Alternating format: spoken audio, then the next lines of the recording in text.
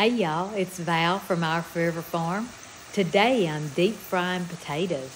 I cut them really thin, put them in an iron kettle on the stove, while Sweet Hunter's out at the pit boss grilling T-bones. Now we like ours just a little bit rare, more like medium rare I guess. They were delicious.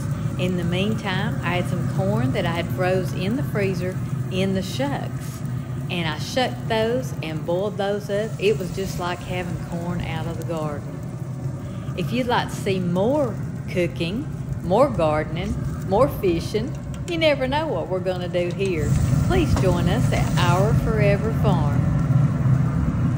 It's going to be good. Y'all go cook something and thank you for watching.